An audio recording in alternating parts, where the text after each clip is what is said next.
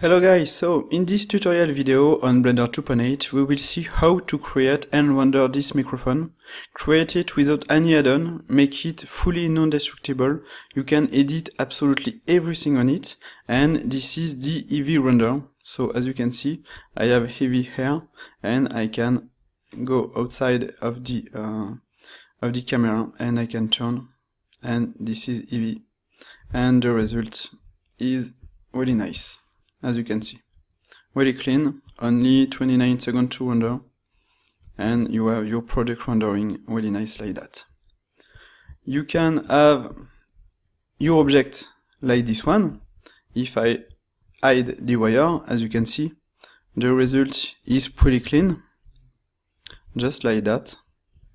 Everything is editable, absolutely everything is editable. For example, if I take this piece this simple piece, I have a, an absolute control on every bevel.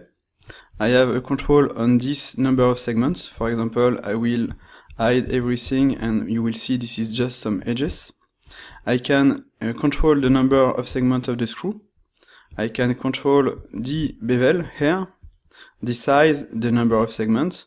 I can control the bevel here, the size, the number of segments if I want more or less subdivisions. Same for the last bevel here, and I can add a subdivision surface.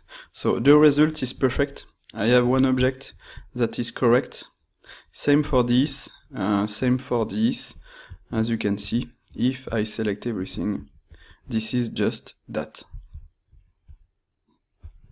Same for this. I can add, hide everything. This is just that some lines. So everything is editable, you have full control and the result is perfect. So let's start.